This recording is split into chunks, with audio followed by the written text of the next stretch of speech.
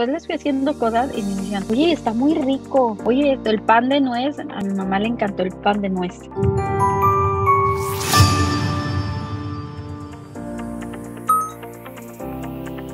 Siempre me ha gustado la repostería. Antes hacía los cupcakes, pero de caja. No se me hizo caro el curso, más accesible y la ventaja era que lo podía hacer desde mi casa. Fue algo que me gustó más. El servicio fue muy bueno, los docentes siempre han estado ahí. Sí he notado un cambio yo no sabía cocinar, pero fue pasando el tiempo y me decían, oye, wow, qué rico. Y eso también me dio un poco de confianza. Tengo pensado hacer un negocio de pasta de almendras, los muffins de frutos rojos y el plan es lo que yo digo, creo que puedo hacer eso. Entonces creo que es en lo que me basaría un poquito más a lo que yo haría en mi.